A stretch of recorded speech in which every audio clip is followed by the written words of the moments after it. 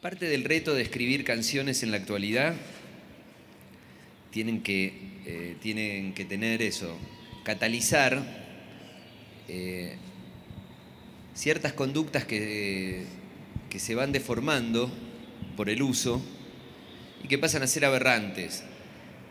La forma de narrarlas es en tono que roce la fábula. Y eso eso permite una mayor inserción de la idea que transporta la rola, la canción o como la llames, hacia el oyente. Pero fíjate que en trinchera lo que más tiempo nos lleva es que mm, la esencia de la canción tenga un concepto de unicidad con la forma estética de la canción y que las dos viajen en una molécula indisoluble. Cuando comenzó la pandemia estábamos tocando aquí en México en el Vive Latino, estábamos terminando la, interminable gira de Discutible que nos llevó casi dos años y, cuando nosotros sacamos un disco no tenemos, en general no, no componemos demasiado. Cuando termina la gira empezamos a componer. De hecho la gira terminó el 20 de marzo de 2020, que fue el día que tocamos en el Vive Latino que fue el comienzo de la pandemia, el comienzo de la cuarentena en Argentina y en, casi todos lados. O sea que comenzamos a componer a partir de tal vez algún uno o dos meses después de eso, ahí se empezó a componer. Pero tiene que ver eso porque eh, el disco lucha contra eh, cuál sería el motivo que implica la vida. Y se lo trata de plantear permanentemente en las canciones. Pero ¿en qué sentido se lo plantea? ¿En, ¿Vos sos dueño realmente de tu agenda que determina eh, tu vida y el disfrute de tu vida o no? ¿O tu agenda está predeterminada por las condiciones sociales, las condiciones laborales y casi todas las macro conductas que te rodean y te permiten muy poca elección? Eso es una cosa que, las canciones se lo plantean permanentemente. Entonces dice, si, si vos estás encerrado de esa, de, eh, y comprimido dentro de esas macroacciones que determinan por fuera el curso de tu vida, ¿cuándo despertás? ¿Qué haces para tomar las riendas de tu propia vida y poder eh, tener una vida plena? Plena no quiere decir el uso máximo del consumo del capitalismo, sino una agenda por fuera de la determinación capitalista, racionalista, judeocristiana. Que después de la pandemia hay como una necesidad del público, después de haber sufrido todo, todo lo que generó todo ese proceso, entre las, entre las miles de cosas malas que generó fue el no poder ver un show en vivo, digamos, pero bueno, generó muchísimas cosas peores. Eh, y bueno, es, esa represión de ver un show en vivo y de tener como de estar con, con gente y compartirlo y no tener que estar aislado en tu casa viendo una pantalla, creo que genera un plus de entusiasmo y de emoción en el público y eso obviamente contagia al artista que está en el escenario. El primer show, nosotros en la pandemia no hicimos ningún streaming, eh, no, nos parecía que era que, tenía nada que ver con, el espectáculo de la música que dábamos. Y el primer show que hicimos eh, post pandemia fue en Ciudad Juárez.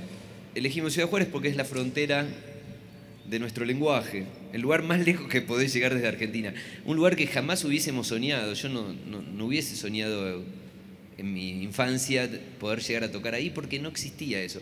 Inclusive ahora que volvimos a Ciudad Juárez a un festival y que, está, que recorrimos todos los, gran parte de los estados de México y seguro en una próxima gira terminaremos de, visitarlos porque realmente lo, disfrutamos mucho y está nuestro público ahí también.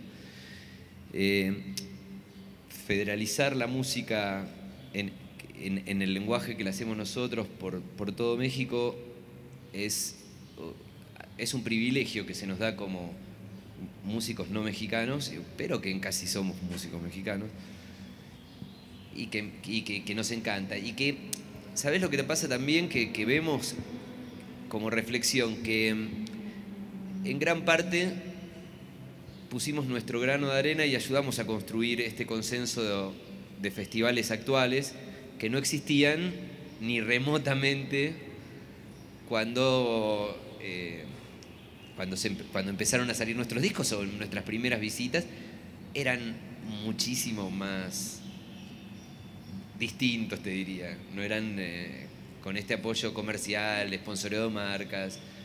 Que, la, industria funciona como, como una gran espuma que, genera expectativa y después explota y, no, no, no, tiene más futuro. Es como que es una, es una burbuja. Y tal vez lanzar el disco así como vos dijiste, casi así como tirarlo, es como ponerse medio en contra de, ese proceso que existe, que de pompa de jabón, que, tiene ahora, que, se va generando una expectativa y después explota. Porque nuestra, como nosotros venimos de, otro mundo, consideramos que las obras eh, no duran un día ni una semana, duran años, 20 años, 50 años. Yo no creo que el rock esté pausado.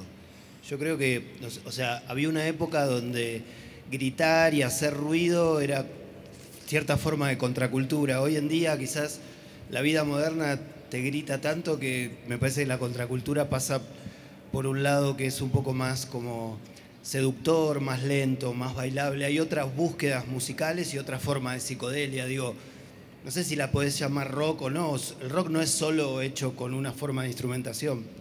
Mira, la cultura rock terminó triunfando. En cuanto a que, en cuanto a la, mayor, eh, ya es mainstream para nuestras generaciones, para todos los que están acá no es algo ya contracultural, sino que es eh, el lugar principal donde pudieron explayarse y pensar o, desde donde ser. Entonces les es muy complicado a las generaciones nuevas captar el mismo sistema la sensación de rebeldía o la sensación de ruptura que trajo en, otras décadas. A partir de ahí se buscan nuevas formas de expresión que, van por fuera de la cultura rock. Ah, entonces, no, no, no. Entonces, lo que empieza a pasar es que, bueno, cada vez es más difícil llamar la atención en, en la industria de la música popular por vías directas del rock. ¿Por qué? Porque la combinación de instrumentos que engendran casi lo dijo todo. A, mí me parece que, la música la música hoy en día se escucha más que nunca porque el acceso a la música como vos decís está antes vos tenías que hacer cierto trabajo para conseguir música tenías que conseguir plata para comprar el disco eras joven no la tenías era todo un proceso más trabajoso el hecho de acceder a música nueva. Con el tiempo la música está al alcance de un clic, eh, por ende es un momento donde la gente está más cerca de la música, pero a la vez también tiene un, su lado, para mí el lado, no sé si negativo, el lado eh, que, no, que no está tan bueno de eso es que hay una oferta desmedida de música todas las semanas, que la música tiende a ser más efímera, como que va pasando como si fueran, o sea, next, next, next, como así. Y, tal vez eh, las obras o los, los álbumes que uno, que uno se pasa tiempo trabajando, tal vez uno piensa que pueden ser, duran menos que antes. Antes los, los discos duraban más tiempo pero, tampoco es una verdad absoluta, no, no sé, cada, cada uno escucha música como quiere, tal vez alguien tiene un disco y lo escucha todo el tiempo durante meses y hay gente que escucha un tema una sola vez y no lo escucha nunca más. Es, muy personal la experiencia. Eh, lo cierto es que la oferta es, permanente, desmedida y semanal. Y particularmente, ya no representa nada para mí el nombre. Los nombres tratan de ser únicos en su origen. y después representan lo mismo que representa un nombre para vos, que ya te olvidás del nombre que te han puesto y, y, cargas con él. ¿no? Lo que más te representa es tu obra, en definitiva. ¿Qué, eh, hiciste con eso? ¿Qué hiciste con ese nombre? Y en lo, mejor del nombre es que no hay otro igual, que es, es único. Pero las circunstancias que nos llevaron a, a encontrar ese nombre, sí, son esas más o menos. Si lo hubiese podido cambiar todos los años, lo cambio a mí no me, el, género, decir urbano, no, no, entiendo bien qué es. Pero para mí es, eh, tiene que ver con el, con el hip hop. O sea, es todo hijo del hip hop, salvo lo que tiene que ver con la música tropical, que yo ya ahí ya no entiendo mucho. Lo que es más tirando al reggaetón y a la cumbia y, esas cosas. A mí me sale una pregunta. ¿Todos los que no hacen género urbano hacen género rural? Sí, urbano. Seríamos o con urbano, que no sé, quizás seamos entre con urbano y rural. Hemos mezclado estilos desde que empezamos, pero no hemos ni creo que vayamos a colaborar con nadie. Eh, a veces eh, tiene que ver más con los algoritmos que con otra cosa, eso es. Es como que son casamientos de algoritmos, esas cosas. Se, unen y se reproducen. ¿Piensan que es como pura estrategia mercadológica? Uy, Algo así. Qué bien definido. Algo así. También pertenece Estás en lo cierto. Si, si, no lo hicimos hasta ahora, ¿para qué lo haríamos? Porque es un, intento, es un intento desesperado de querer que te quieran. Ya un intento bastante desesperado es hacer un disco. Muchas gracias. Muy de acuerdo. Imagínate, el otro sería un mucho más desesperado. Nos da orgullo y nos pone contentos que podamos tener discos que interpelen nuevas generaciones y, para mí tiene que ver con, con, que nosotros estamos siempre desafiándonos a hacer música que sea relevante para el momento en el que vivimos y eso tal vez resuena en, generaciones que tal vez nacieron mucho después de que nosotros empezamos a tocar. Hablamos de que nosotros empezamos a venir a México en el año 95, 96, a tocar en antros, en un momento donde lo que él decía, que no existía todo lo que existe ahora, los festivales, las facilidades para los grupos.